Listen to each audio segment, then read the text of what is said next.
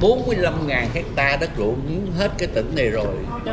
Là ruộng lúa đó còn ruộng muối hơn cả trăm ngàn hecta nữa. Cơn ơi đầy đỉ hết.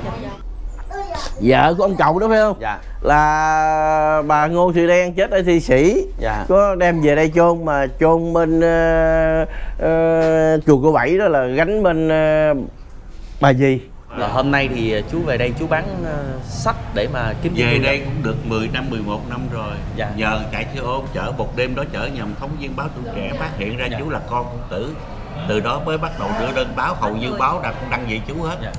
chú năm nay là chú bao nhiêu tuổi hả chú à, 74 rồi chú 74 tuổi ông cậu là hồi đó là mỗi một ờ, vợ là ông mua một cái nhà hai cái nhà chẳng hạn như một nhà Sài Gòn mua một cái để ở rồi nhà Đà Lạt mua một cái là để nghỉ mát. Trời. Ờ nó đi ra để mát. Chứ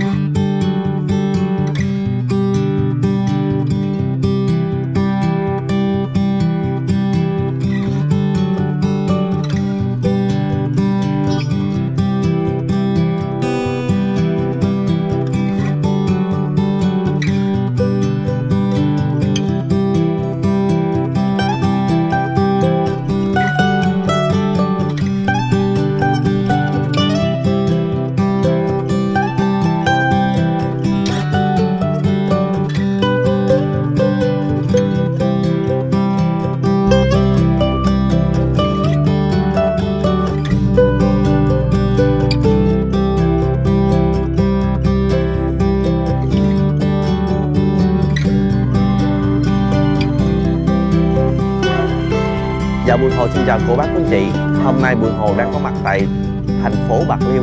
Và hôm nay thì Bùi Hồ đến đây à, tìm đến ngôi mộ của ông Để nghe người cháu của ông là cháu nội của ông Kể về một cái thời vàng son của ông. Thì trong những cái giai thoại về công tử Bạc Liêu Thì trong đó có những giai thoại như là đốt tiền nấu trứng nè Rồi à, vua Bảo Đại có một chiếc máy bay thì ông có một chiếc máy bay.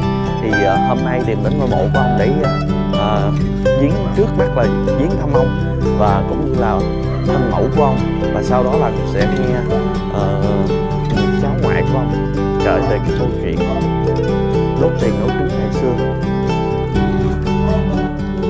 Cháu ngoại à, ông cậu là anh của bà ngoại. Dạ. À, chú cháu ngoại. Dạ. chứ còn chứ như vậy chú cũng không có gành gì. Đó có người cậu không gành người cậu bán sách ở dưới công tử á. Dạ. Có biết ổng không? Dạ con biết. Ờ ờ đó lúc là trước ổng thì gành ờ, ông cháu nội là đi chạy xe ôm phải không chú chạy xe Honda ôm phải không đâu có cái đó là cậu ông chạy dạ. xe ôm là hồi thời lúc mà khó khăn á, ở sài gòn à, có Dạ. đó. chứ còn là ờ, ông nội là là là, là đâu có chạy xe ôm đó, đó, đó. Đó. ổng là cháu nội Dạ, cháu cậu nội. đức là bên nội tôi bên ngoại á dạ à, đây là, là vậy đó đây là mẹ của à, mẹ của ờ, ca- công tử bạc liêu là trần trinh quy Dạ. đó là là à, má của trần trinh quy Là- còn này là ba. Dạ đây là ba. Ờ ba má. Ờ. Đây là Trần Trinh ờ, chơi chơi Trần trần Trinh trạch sinh năm 1872 ờ.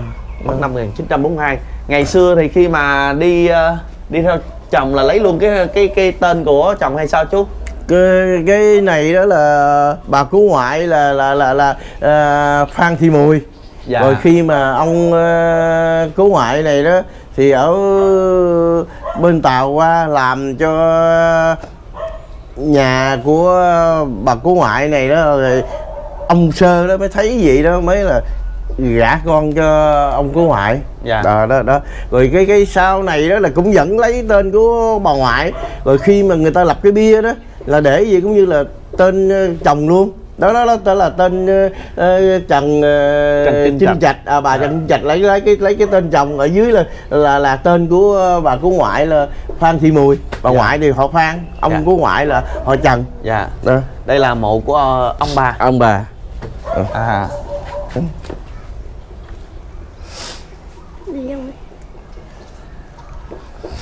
Phần bên đây là phần của bà rồi có để đó. Dạ bên đây là phần của, ờ, của ông. bên nào là là, là có miếng bia nấy rõ. Ừ. dạ còn cái dưới đó thì của ông cậu là công tử bạc liêu á. Còn phần này là phần của công, công tử bạc liêu Liêu. công tử liêu là là trần trinh huy đó cái để đó cháu dạ, Trần Trinh Huy. Ờ cái để Ờ, con có một nghe khi đến đây con có nghe mà trước đây thì à, cũng rất là nhiều giai thoại. Con ở Đồng Tháp xuống đây cũng có rất là nhiều giai thoại về à, công tử Bạc Liêu và ông Trần Trinh Huy như thế này có một cái giai thoại rằng là ông đốt tiền nấu trứng để để chứng tỏ mình là một người giàu sang trong cái vùng đất ở Bạc Liêu này. Cái chuyện này có không chú? À, cháu ờ, năm nay cháu được nhiêu tuổi? Con à, năm nay à, 32 Ờ, phải mà cháu được ờ, sáu bảy chục tuổi là, là cháu biết có quốc gia nào cho đốt tiền đâu. Dạ. Rồi cháu đi hỏi coi, coi, coi ai dám đốt tiền bác hồ không xé tiền bác hồ không ở tù gục xương đem xỉu bắn nữa. Hồi Dạ. xưa là là là cháu lặt giấy bạc ra sau lưng để đó. Dạ.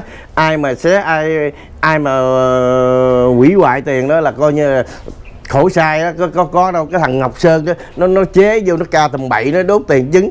Ai mà cho cho cho ờ, ờ, đốt mà Dạ. luôn cả ông cậu này đó là chế độ ngụy đó. Ông cậu này có về nè bà già tới người gì nè hỏi nè. Ông nói bộ tao khùng sao mà mà mà tao đi đốt tiền? Không có cái đó là nói dốc đó nói dốc. Như chọn hàng máy bay thì có. Ở đó. Dạ. chứ bây giờ cháu ừ, hỏi hết ừ, mấy người xưa có ông nào mà mày mày dám đốt tiền không mình nói mình đốt tiền nấu trứng là cháu là không chừng luôn bao nhiêu bao nữa. Chú tới tối chú lấy à, bài ca giọng cổ với nhạc rồi đó đó. Đốt cái lóc đằng đằng, đằng ăn á. Trời đó ơi kêu mấy đứa đó ôm ôm ôm đứa ôm ôm ôm biết bao nhiêu ôm luôn đốt đóng nhưng mà còn chưa chín nữa chứ đâu đừng nói lấy tiền mà đốt đốt, đốt, đốt trứng đó, đó, đó. cái thằng ngọc sơn nó nó nó, nó ca tầm bậy rồi mấy ông này không biết ông nào mà diệt cho nó ca khùng nếu- mà trường hợp mà có thiệt như vậy chắc là mới sang bằng luôn cái cái mộ của ổng á. Dạ. Cháu thấy là là, là hồi, hồi xưa mà mà mà mà có ai mà mà mà dám cho đô, đô, xé tiền không đốt tiền không đó, đó, đó, trời bậy cái bây là- giờ cháu dạ. bây giờ cháu sống xã hội chủ nghĩa này là nội cái cháu đó dám đốt tiền bác hồ không dám Dạ. xé không mày ở tù chết luôn ổng là cái gì ổng chỉ ăn chơi là dân đó, Dạ. đó, đó, đó, đó, đó. ăn chơi là dân thôi chứ không không có gì đó tại nói đây là cái câu trả lời thích đáng nhất của chú dành cho những người mà Ừ. có việc lên những cái sơ những cái câu chuyện mà nó nó nó quá Ừ, chắc nó- có, có thể là ông ngắt tiền Ừ. ngắt khúc để mà ông đi chơi thì có ờ cái đó có chẳng Dạ. hạn như là không cần đếm ờ tiền cọc ờ nhắc ra. Ờ cái đó ờ thì có. Đó. mà thường thường nhắc là coi như trả dư không á cũng như là bây giờ mình kêu bo vậy đó, Dạ. đó chứ mà rút tiền là, là cái thằng ngọc sơn nó làm tầm bậy đó. Dạ. Rồi à, cái việc mà ông là bảo đại có một chiếc máy bay máy bay và ông có một cái chiếc máy bay là có chú ờ có có có. Ông cậu có có con máy bay. Cái đó có thiệt. Dạ. Ờ. ở nước Việt Nam mình là có còn ở thôi. bào sàng ông cậu có đắp một cái sân máy bay á. Dạ. Bào sàng đắp hồi xưa lần á. Dạ. Bị hồi xưa đất mà. Đó có có có. Dạ. Chứ Bên- còn còn mà cái kia rồi là bây giờ cháu nội cái cháu, cháu suy nghĩ coi có, có ai mà mà, mà mà dám không? Ở tù chết luôn á. Chứ đừng có nói mà mấy. Mà hồi đó là là, là, là, là thời pháp rồi nó còn gắt gao hơn bây giờ nữa chứ đừng Dạ. có nói vì pháp nó cai trị mình mà. Đó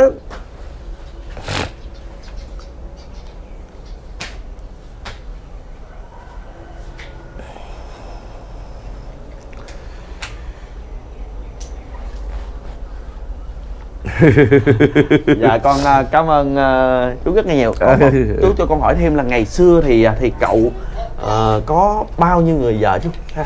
Ờ, ở cái đó thì có ba người. Dạ. Là vợ lớn của ông cậu là ngô thị đen. Dạ. Có có một lúc thì ở bên thị sĩ. Dạ. Rồi kế nữa là má của người cậu rồi kế nữa là má của người cậu nữa sau nữa? Dạ. đó là ba bà ba người. Dạ. À đó ba người thì vợ. à, cậu là có có bao nhiêu người người con hay chú ha? Ờ, tới mười mấy người mà cũng hơi quên.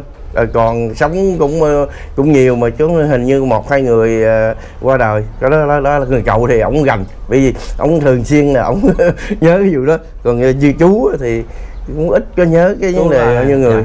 dạ. Ờ. chú ở đây là chú à, coi hương hương quả ở đây hay Ờ, ờ, ờ, coi coi mộ Dạ. coi mộ bởi vì chú cháu ngoại nhưng mà chú ở đây thì chú hay coi dạ đó đó, hàng năm thì ờ, ơi hàng năm thì cúng nhiều lắm Dạ. nói về mà cúng thanh minh đó thì ai về trước cúng trước Dạ. ai về sau cúng sau Và như con- là con- ở ờ, Sài Gòn Dạ. hay chẳng hạn hay, là ở nước ngoài vậy đó rồi ở đây rồi Dạ. có người cúng trước có người cúng sau có người cúng ờ, ngày chánh có người cúng ờ, ngoài cái cái cái cái cái ngày chánh nữa mà trong cái thanh minh ờ, nguyên tháng đó mình cúng ngày nào cũng được đó. Ai rảnh đây cúng á vậy Dạ.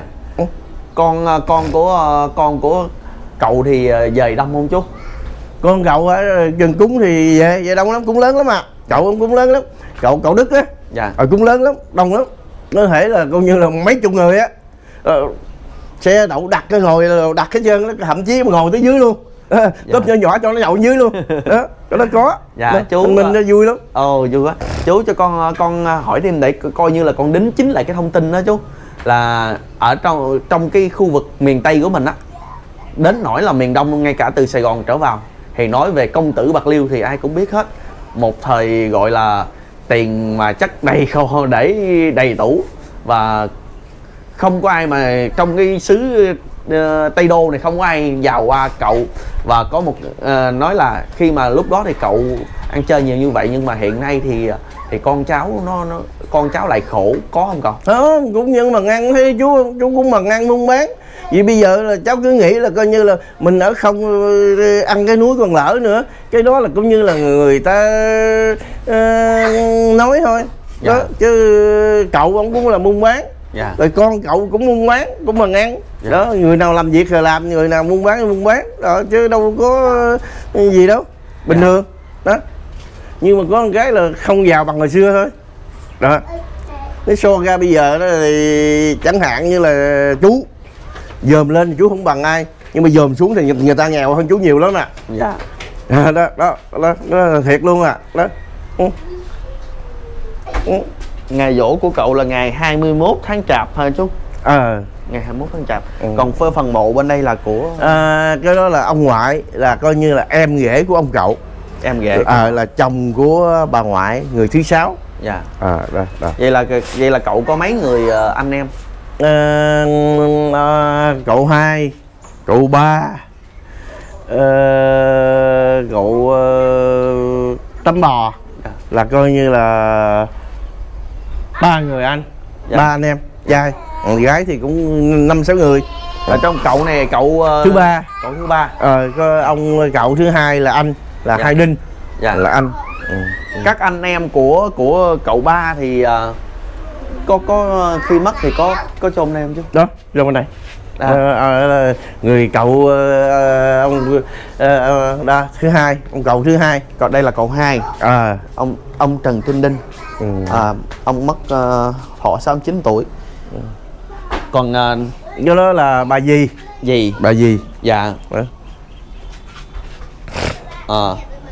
Này là không biết năm năm mất hơn ờ, bởi vì không có để. Dạ. bây giờ hỏi cũng quên luôn Rồi, nhớ hết trơn đó mà nhưng mà có một cái là trong ờ, gia đình đó có Dạ. cái lưu là cái sổ đó Dạ. đó nhiều khi mần bia rồi nó không có để bây giờ cứ- để gì luôn đó.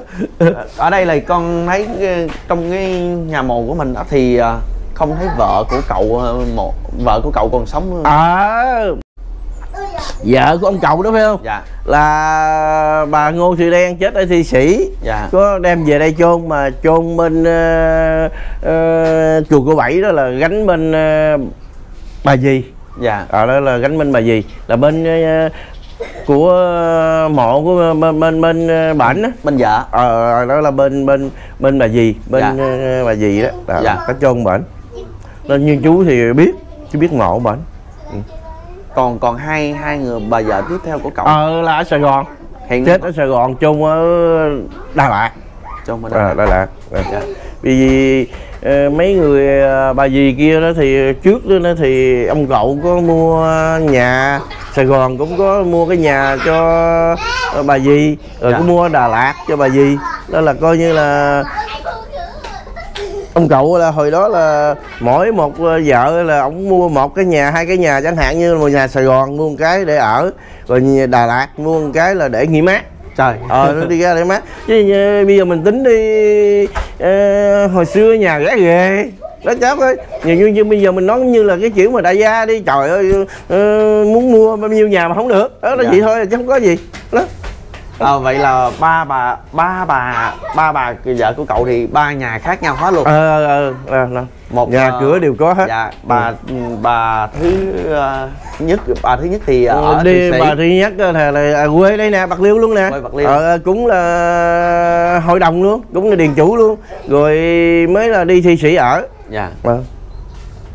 con của cậu là Dì Tuyết cậu cậu có cái gì ở với bà Ngô Thị Đen rồi có có có người con gái. Dạ. bà Ngô Thị Điết Ngô ở Dì Tuyết tôi kêu bằng Dì Tuyết Dạ. Bà bị tôi cái da cháo. Dạ. Ờ. rồi vậy tiếng đó là là còn ở thị sĩ. Hiện nay vẫn đang ở ờ ở thị bà sĩ. còn hay đã mất? Con con. Chắc cũng lớn tuổi thôi chứ. Con lớn tuổi rồi. Còn mà vợ của ông cậu ờ, tắm bò đó ông cậu thì chết ở pháp. Còn ờ, ờ, bà dì thì về mỹ nó sau này qua mỹ ở thì cũng mới mất một hai năm nay thì chắc cũng lớn tuổi lớn tuổi dữ à. Bữa đó cậu có nói mà cũng quên cái tuổi rồi. Dạ còn cái chú mà bán sách ở là ngoài- cậu là con của ờ, ông cậu. Là con của cậu ba luôn. Ờ con của ba luôn. Con ruột. Là con ruột. Là con của bà Ờ, thứ ba. À, à, người vợ thứ ba. Ờ, dạ đó. là cái um, là bà đang ở Đà Lạt không cái đó là người Đà Lạt là người thứ tư dạ. Ờ ông vợ của cậu là người thứ ba. Dạ. Ừ, đó. thì tính ra đó thì cậu là là, là bảy mấy rồi? À, thì ra là coi như là cái người vợ mà thứ tư ở Đà Lạt đó là con của mấy người kia đó thì nhỏ hơn cậu. Dạ. Đó, tuổi còn nhỏ hơn nữa. Chứ đừng có nói chi mà mà mà da da thì nhỏ hơn mà nhỏ tuổi hơn. Dạ vậy là chú là cháu ruột còn cái chú bán sách người kia là con ruột Ờ, ờ, coi như là như như là cha cháu hiểu là là là gì dễ là coi như là ờ, chú bên ngoại cậu đức là bên nội bởi Dạ. vì bà ngoại tôi là em của ông cậu À, là gái à, à. là bên bên bên ngoại dạ ờ, ổng thì thì thì bên nội là trai Dạ. vậy thôi à, là vậy thôi à chứ không có gì hết trơn á Dạ. dễ đó dễ hiểu như giờ- vậy hôm nay à, Bùi Hồ đến đây có dịp ra thăm thân sinh của cậu ờ, cậu Huy Ờ, là với lại mộ của cậu thì có thể đính chính với cô bác quý anh chị một cái câu chuyện truyền đời rất là nhiều ở cái vùng đồng bằng sông Cửu Long này. Đó là đốt tiền nấu trứng là không có. Và cái câu chuyện thứ hai mà Bùi Hồ muốn truyền tải thông tin với cô bác quý anh chị đó là con cháu của công tử đều sống trong cái cảnh nghèo khó cũng không có. Tại vì nghe con qua nghe chú kể thì hiện nay còn rất là nhiều người sống ở mỹ ở thụy sĩ Ở Sài ờ, Gòn. và ở sài gòn ở đà lạt đúng không chú? À, hôm nay thì con đến đây con rất vui khi được chú chia sẻ những cái câu chuyện để đính chính được cái sự thật như thế này để cho mọi người từ biết bao lâu là đời. Trước đây thông tin rất là kém. Về cái phương tiện mà thông tin để mà để mà dò cái thông tin chính xác thì rất là ít tại vì không có liên lạc được hoặc là chỉ biết được qua sách báo thôi. Thì hiện nay truyền thông nó rất là nhiều và có thể mượn cái này để đính chính được cho về về về cái cái cuộc đời quá khứ của, của cậu, cậu ba. Chú có thể à, hôm nay thì đến đây đến cái khu mộ này thì chú có thể kể cho con nghe một cái giai thoại nào mà nó nó nó nó, nó coi như là khét tiếng ở cái vùng đất Tây Đô này không chú về cậu cái đó thì để người cậu kể. Dạ. Người cậu kể. Đó, chú thì cũng biết nhiều lắm nhưng mà Dạ. thôi để người cậu vậy là thân sinh của cậu ờ, thân sinh của ông thì ở đây còn ờ, các người con thì đều nằm ở đây hết? Dưới nữa. Ở dưới có, đây có dưới nữa. À, Ở dưới đó là cũng là con à, cháu luôn. à, cũng cũng là con cháu nữa. Dạ. Vậy là cái khuôn viên này lớn ha chú ha? Cái này thì ờ, tính theo mà bằng phán mà hồi thời pháp đó là 100 công. Giờ còn hiện nó chừng khoảng chừng chục công. Dạ. hiện nay ờ, chừng chục công là là tôi coi. Ờ đó là tôi coi tôi giữ thôi chứ cũng hết rồi. Đó. Dạ, lúc trước trước con nghe nói nguyên cái vùng đất bạc liêu này kể cả luôn ờ, sóc trăng rồi là đất của của thân sinh hết mà của của ba không ờ, không phải đâu đâu phải. Cái đó là của ông cố ngoại Của ông cố ngoại. ờ chứ mà riêng ờ, ông cậu thì không có ải dạ. Đó, đó, đó. Là ông cố ngoại cũng như là mần có rồi cái mua ruộng đất rồi làm thêm rồi cho mướn rồi vậy đó. Dạ. Đó, cho mướn rồi đông lúa ở cái đó có cái này con ờ, con không biết con con cũng là một cái người nghi vấn tại phim ảnh đôi khi nó chiếu lại hoặc là qua sử sách ghi lại đúng. Rồi cái ờ, bây giờ con con muốn chú chú có thể trả lời được ờ, thì trả lời cho con nghe chú cũng như cho mọi người hiểu luôn. À, trước đây thì cậu có có có xe ô tô?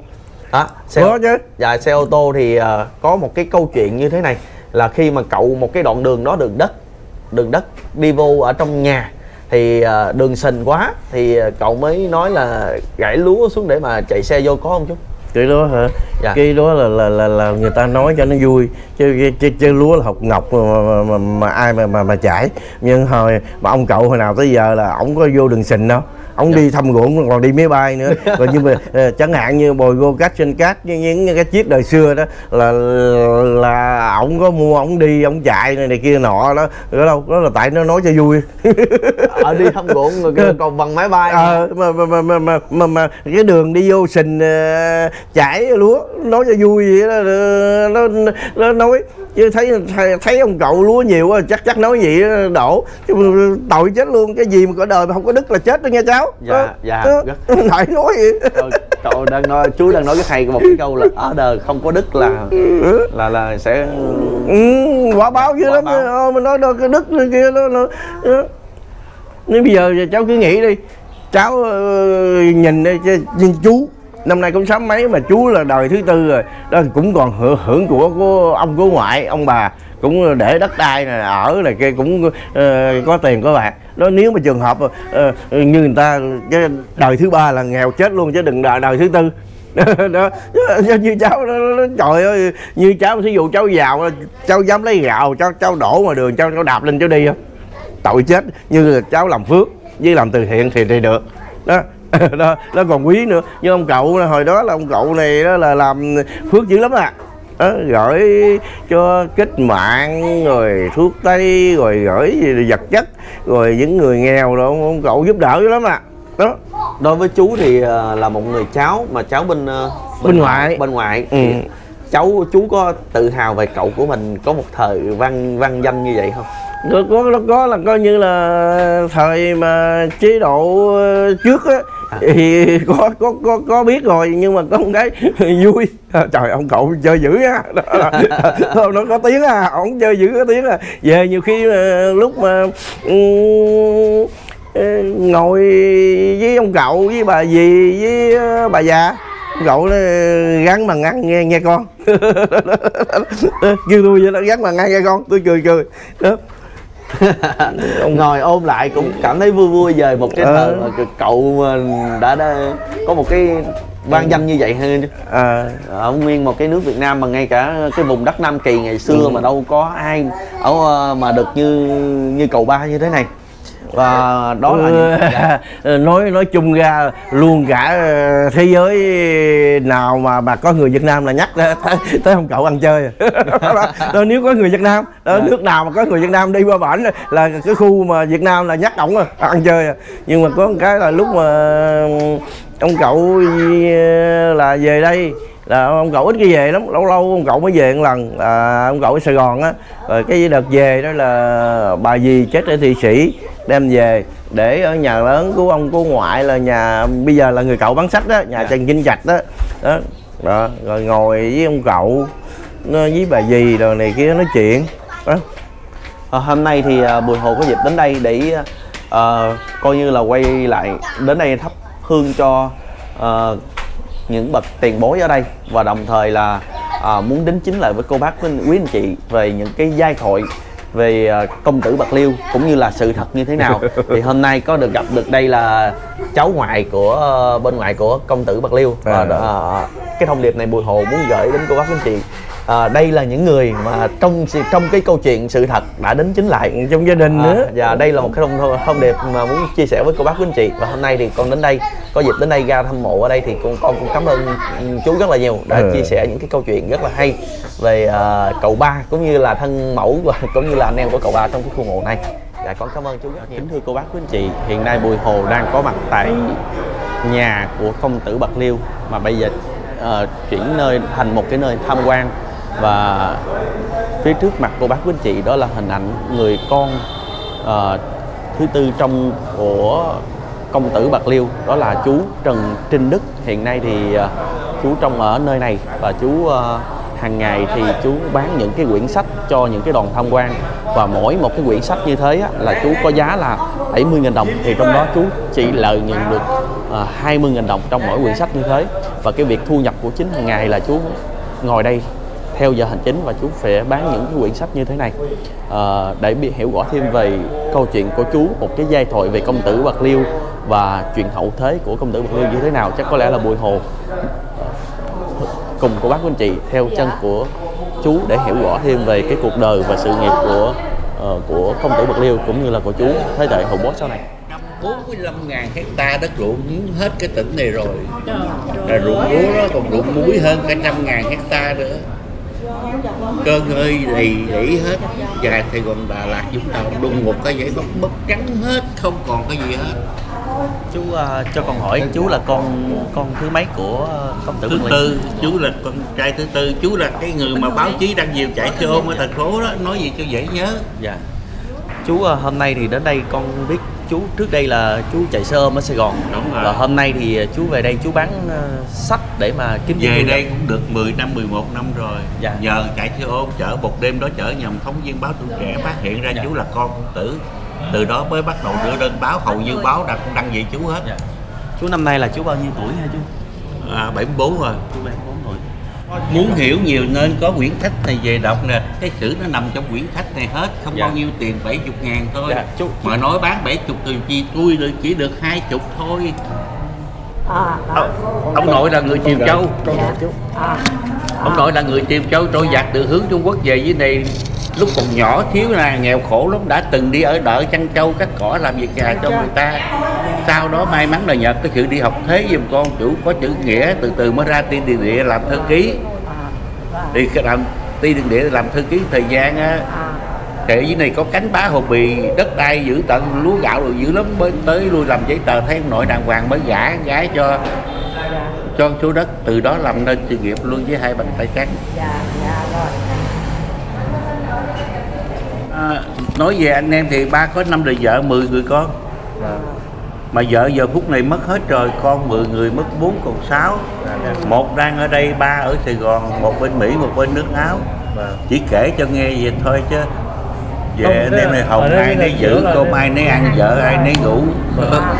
Chú cho con hỏi là có một cái giai thoại về công tử bạc liêu đó là đốt tiền nấu trứng. Cái đó chú nói cho tụi con nghe nè. Cái đó nghe cho vui lỗ tai thôi đốt tiền là ở tù liền. Tiền của pháp hồi xưa có để trên trong chữ đồng tiền là rõ ràng hình luật phạt cổ sai chung thân cho những người nào có hành vi hủy hoại đồng tiền. Chứ không phải ai có có tiền muốn xé muốn đốt rồi đốt đâu. Có luật hết. Về tiền tệ nó có luật hết. Mà chẳng qua ông già ông thầy sộp ông giúp các bạn nhiều quá coi đồng tiền nhẹ quá. Thầy không thoáng quá đó. Người ta đồn ra vậy thôi. Nhưng mà về luật là không ai có quyền làm chuyện đó hết vậy mà cái sự thật về, về cái đó là do thằng nhạc sĩ thanh sơn nó sáng tác cái bài ca đó ra rồi người ta theo đó người ta hỏi hoài cả đời muốn chết luôn á hỏi bật nhiều là lúc mà thời pháp lệnh dạ. là con đã, có, đã từng có máy Dạ. bay Dạ. đi thăm ruộng bằng máy bay đồ kia mấy cái chữ đó thì có có một cái có một cái câu chuyện là công tử bạc liêu khi mà ông ông bà sắm cho công tử một cái ờ, chiếc máy bay thì ờ, lúc đó bay qua thái lan và vô không phận của thái lan thì, thì à, bây giờ cái đó thì có. Dạ. bởi vì ông già mãi lo bay chơi á thì à, nó gần hết xăng phải phải đáp bên Thái Lan bị Thái Lan giữ ở đó. Ông ông nội mới đem mấy mấy mấy ngàn về lúa đó chạy qua chuột lại vì đất ruộng của gia đình á là 145 ngàn hecta đất ruộng. Dạ. muốn hết cái tỉnh này rồi. Dạ. Ruộng muối hơn cả trăm ngàn hecta nữa. Dạ. Cái muối hồi xưa có giá lắm. Dạ. Đó. 145.000 hecta. 145 ngàn hecta muốn hết cái tỉnh này rồi. Dạ. Đó. Um, chú um, công tử thì có có bốn bà vợ vậy thì chú là con năm vợ năm vợ là- con năm vợ là chú kể cho nghe trong Dạ. gia phả đó. Dạ. Chắc cái dòng ngoài ông nhiều lắm. Vậy là chú là con của người thứ mấy? Con người vợ thứ hai. Là má chú là người mỹ tho. Dạ. má, má lớn là người bạc liêu nè